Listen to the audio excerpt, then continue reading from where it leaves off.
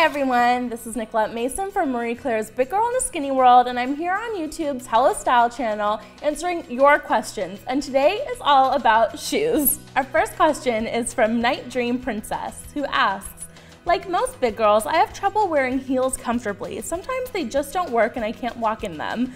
Any tips on high heels for big girls? I have loads of tips. I actually am one of those girls who prefers wearing heels to flats. I know, I might be a little bit of a masochist. So one of the things that you wanna do with a new pair of heels is give yourself a couple of days to break them in. One trick that I do is to wear my shoes at home for a couple of days, just doing normal tasks like cooking and cleaning with some really thick socks on and the heels that I'm kind of terrified of wearing out on the streets just yet. Another product that you want to look for is Band-Aid Blister Block. It looks like a tiny little stick of deodorant. It comes in a blue tube and it's a lifesaver, especially when you're wearing a new pair of shoes. You just want to slather a layer onto your feet before slipping your new shoes on and it'll save your feet from being rubbed raw and filled with blisters, and I promise it'll make breaking in your heels a lot more bearable. As for some styles that are more comfortable for big girls, I definitely think a chunky heel or a wedge will be a lifesaver for you. You wanna look for a heel that has plenty of support. The whole notion of trying to wear a little tiny stiletto it just might not be feasible. I know I can't wear a stiletto heel and that's just something I've learned to embrace. There's so many other shoes out there that offer support and height that are comfortable and there's no point torturing yourself for a pair of shoes that just might not work out. Our next question is from Ray Chuskis who asks, Shoes are the worst part of shopping for me. I have huge feet. I think I may be a size 11 or 13 depending on where my feet are measured. There are no cute shoes for big-footed girls like me.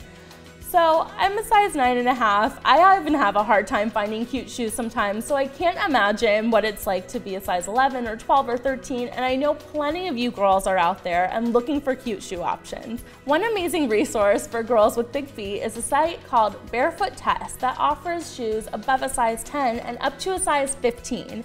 And some of the brands that they carry are super on trend, a variety of price points like Jeffrey Campbell, Boutique 9 by 9 West, me Too, Irregular Choice, and Farrell Robin. They're super trendy and they have tons of different styles, including heels, flats, boots. They even have their own line called BFT, so I definitely think it's worth checking out. Texas Pop Princess also asked for shoes in size 11 and 12, so if Barefoot Tess isn't satisfying your craving, you might want to check out a few other websites. One of them is Net-a-Porter.com. They're a luxury retailer and they have tons of amazing, really high-end designer options up to a size 12. So if you're looking for a really special splurge-worthy piece, like a YSL heel or Charlotte Olympia, something you might not have thought is available in your size, and you're ready to save up those bucks and invest in a pair of amazing shoes, it's definitely worth checking out. Another website that you wanna check out for super affordable options is Evans, and they specialize in wide fits and also in extended sizes up to a 12.